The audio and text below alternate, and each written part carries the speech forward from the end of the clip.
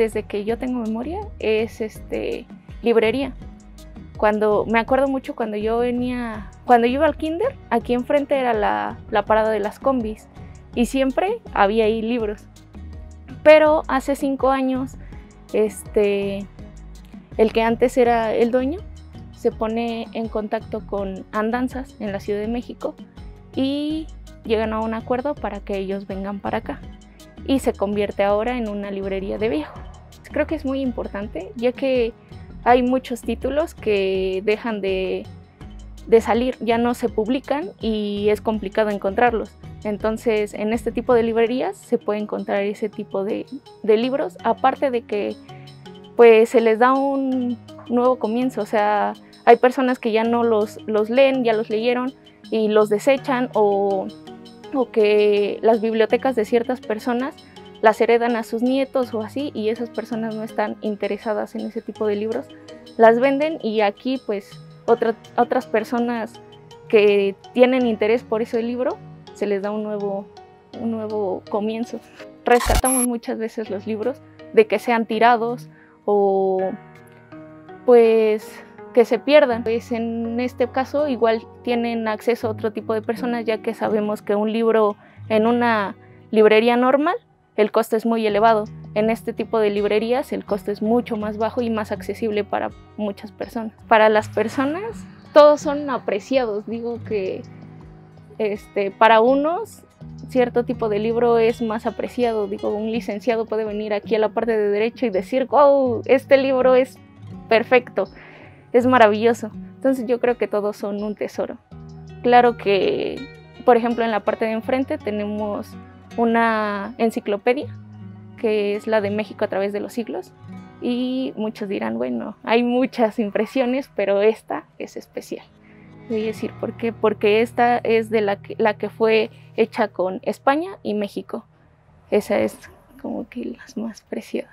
Tenemos libros desde 10 pesos hasta primeras ediciones. Ahorita en primeras ediciones tenemos una de Carlos Fuentes, y es un libro de 200 pesos, pero también tenemos la de México a través de los siglos, que su costo es mucho más elevado.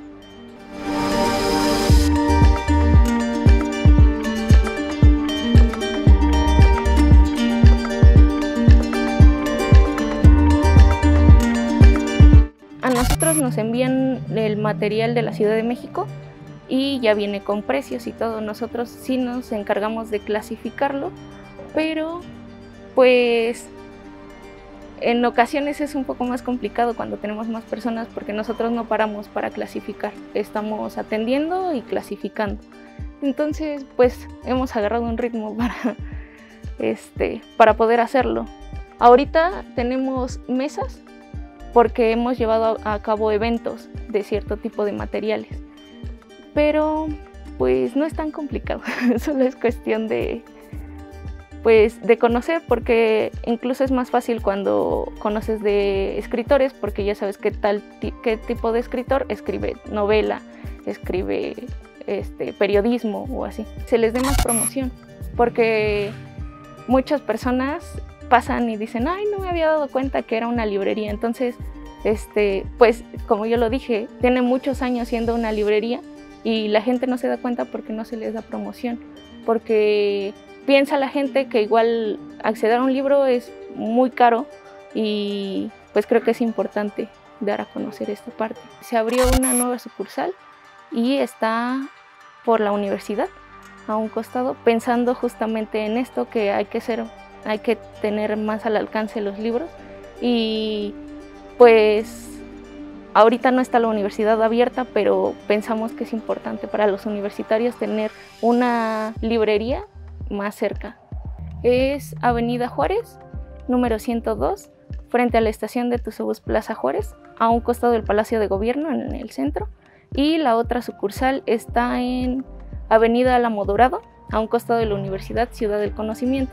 El leer no, no, es, no es solo para ricos, que todos tenemos derecho y acceso y que si no saben con qué empezar pueden acercarse acá a nosotros y les podemos apoyar con gusto.